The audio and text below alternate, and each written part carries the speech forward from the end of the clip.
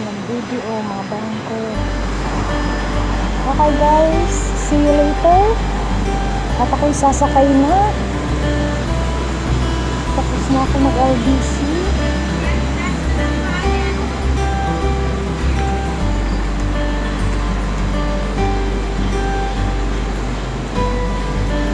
Sumamang card ako po. Antok na ako.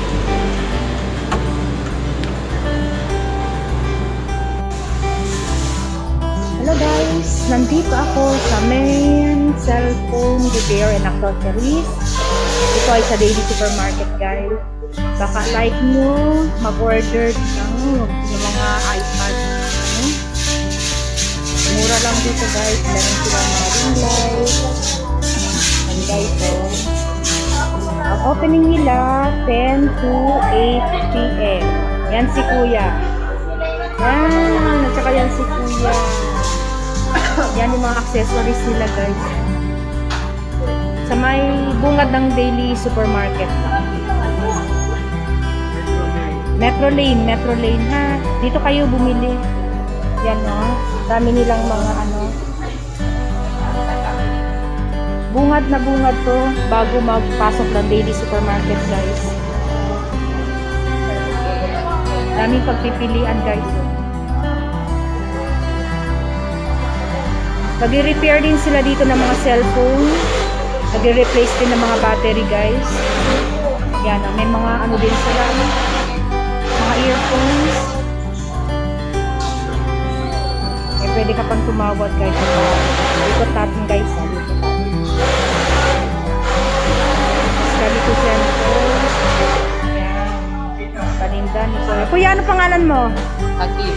Ha? Hakim. Atim. Si Kuya ang isa. Marco. O ayan. Si, si Hatim at si Kuya Marco, sila ang may-ari nitong establishmento dito. Magkano tong holder nyo, Kuya? Ito? Oo, yan. 200. 200. Itong maliit. Ay, sim lang yan. Ah, same lang. Pinadjust lang.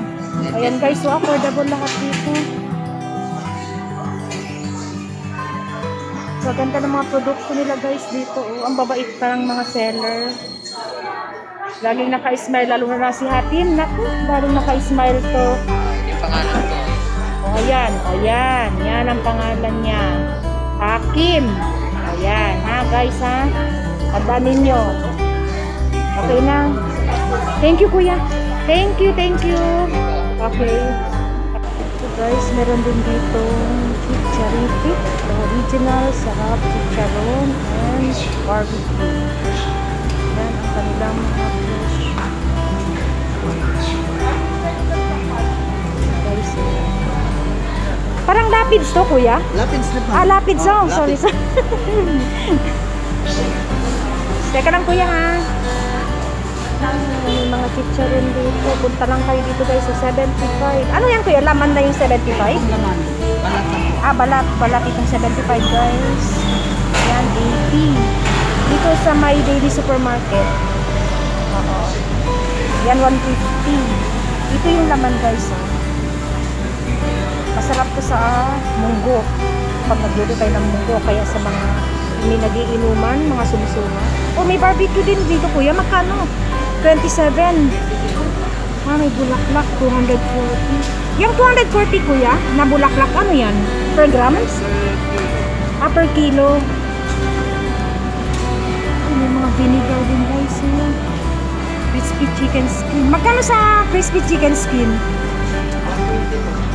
100 grams na yun kuya.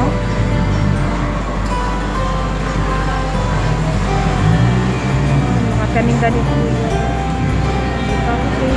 Bilog, bituka, skin. Punta lang kayo guys dito. Bungad ng Daily Supermarket.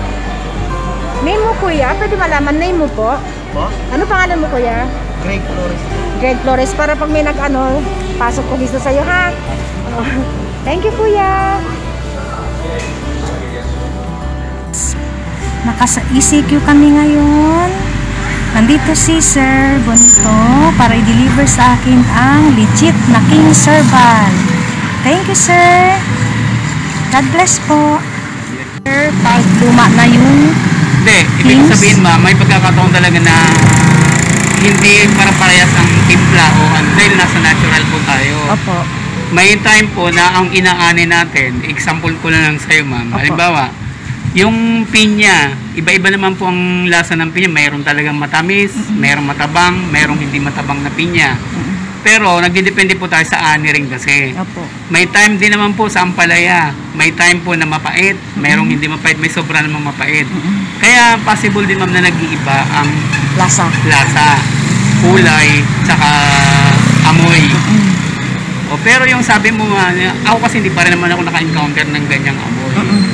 Pero naamoy niyo, sir, di ba? Parang ang oregano niya napakasangsang eh. Mm, pero Di ba? kaya, basta sinasabi ko rin sa'yo, pwede talaga mag-iba ang lasa, amoy, saka kulay. Pero pag ganun, sir, wala naman problema.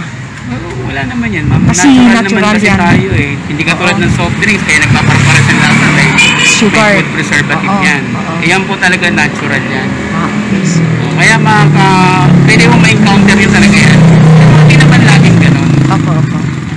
Nanibago lang ako, sir. O, nanibago lang po kasi kayo. Oo, kasi mahirap na kasi iinumin natin yan, di ba? Oo. Thank you, sir. Sige, Thank you. Sa susunod, sir, ha? Kasi once a day na lang ako niyan. Oo, thank you, sir. Sige, Ingat po. Oo. Ah, sige, sir. Sige po, Yan po si. Sir Bonito. Nonito. Ah, Nonito. Batulina ang po. Bartol Prada- Batulina. Batulina. Product Siya po ang, ng Quezon City. ang ano ang product center ng King's Herbal na legit. Kung like niyo po mag-order, order lang po kayo kay Sir. PM niyo lang po ako. Thank you po. Thank you, sir. God bless po, sir. God Okay po. po.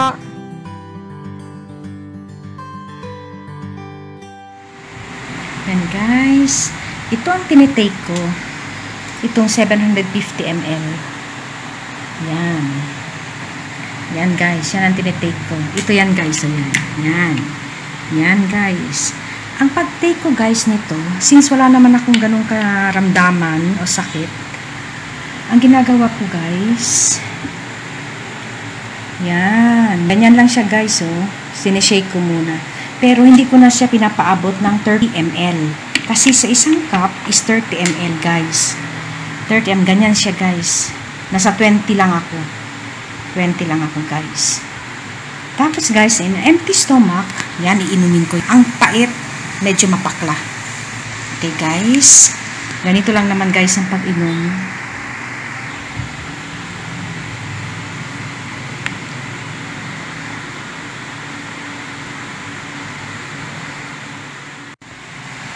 Ayan guys. Eto na ang aking ititake na King's Herbal Food Supplement. Dapat empty stomach tayo guys ha. Hindi tayo pwedeng kumain muna. Better empty stomach kasi herbal siya. Ayan. Take ko na guys.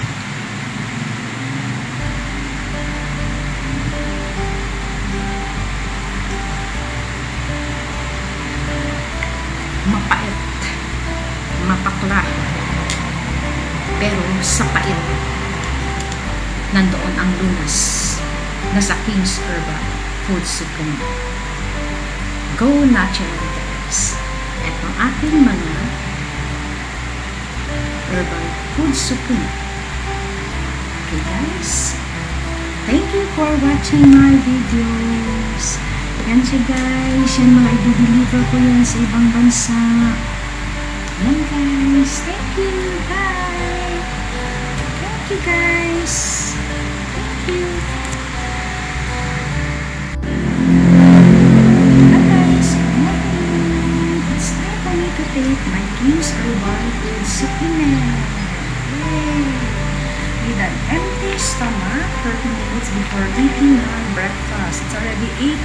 The morning. Yan guys. Ganito lang guys.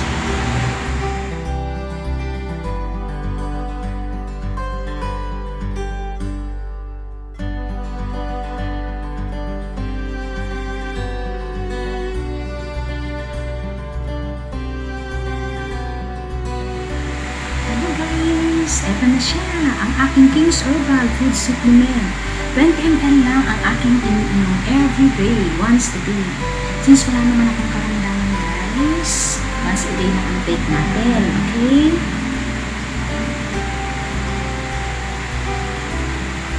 Ang pait talaga guys, sobrang pait at ang pakla.